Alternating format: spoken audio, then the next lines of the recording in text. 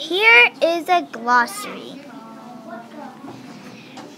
A glossary is usually found in the end in a glossary is usually found at the end like before the index.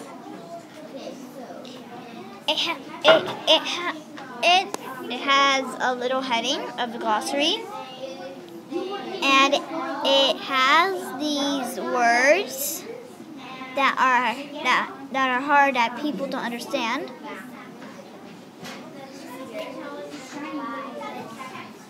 It helps read the glossary helps reader because um, it it helps them understand the words. And it's usually bold.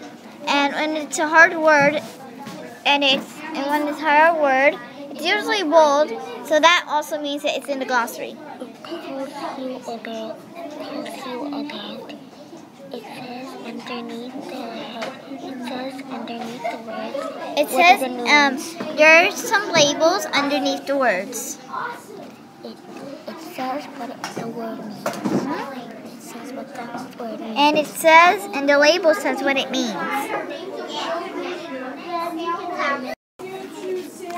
This is an index. It has page numbers and a topic before it. Perhaps if you want to read about Earth's, Earth's crust, it's on page 32.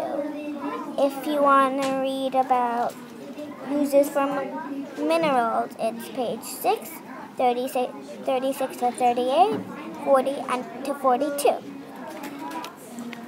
it helps the reader because if uh, perhaps example I'm a reader and I want to learn about let's say mineral hardness. I go to page 18 20 to 22 this is a table of contents. Inside there are numbers of pages that you can find the heading that you want to find like example mummies and pyramids. Yes. Mummies and pyramids. Example, it's on page 4. So in the book, when I go to page 4, there will be a heading called Mummies and Pyramids. People use table contents to help to help them know which which heading or what page number is what they want to find, almost like an index. This is a caption.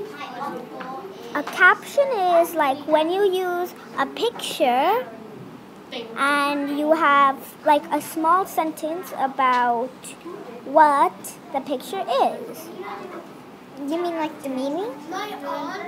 This is used for understanding what the picture means. So perhaps if I'm looking at a sedimentary rock, so this tells you what a sedimentary rock is. This is a diagram. A diagram is almost like a caption, but it has more labels. It has labels on it. For example, a diagram is about um, like a picture and tells what parts and, and tells what parts it is. For example, if I want to know where the engine is, there's a little line where it says engine and then it shows you where. And if I want to search for poop bags, I can just I I can just look at the picture and then see that little little thing over there. It's a poop. People use diagrams to help them understand more about the story and what it is about. This is a bold word. Bold words are something like a word, example, memory and inventor inventors.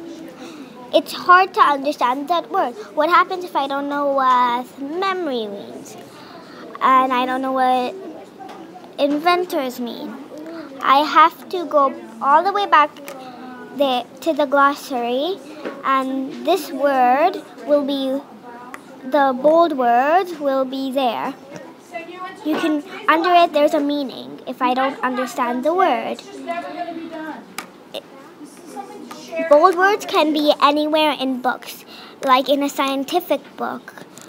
Um, there's hard words like example hardness. What happens if I don't know what this means? I go to the back of the book and it'll tell the meaning. So that's what a bold word is, and the, it's why people use it. This is a label. A label is usually in a diagram. For example, do you see that line and see that word over there? That line shows you where that thing is. For example, if I want to know where a handlebar is, yeah, I just had to follow a line and it's over there. Labels help people because you, it tells which part The diagram. the diagram means. For example, if I if I wanted to find where a handbreadth, I don't go down here. I follow where the line says. People use people use labels to help them understand the diagram more. This is maps.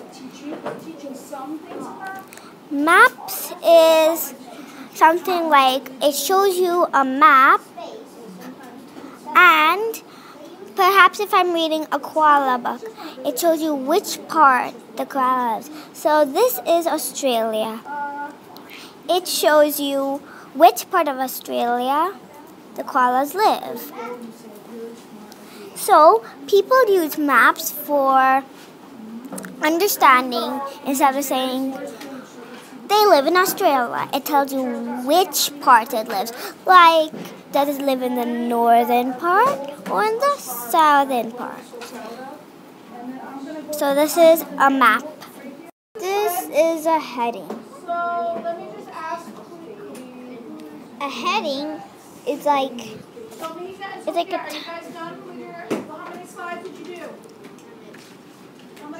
We're on our ninth one. You're recording right now. So a heading is like a title, but it's like the main idea what the ars- the author wants to talk about. For example, the heading is called Life in Trees.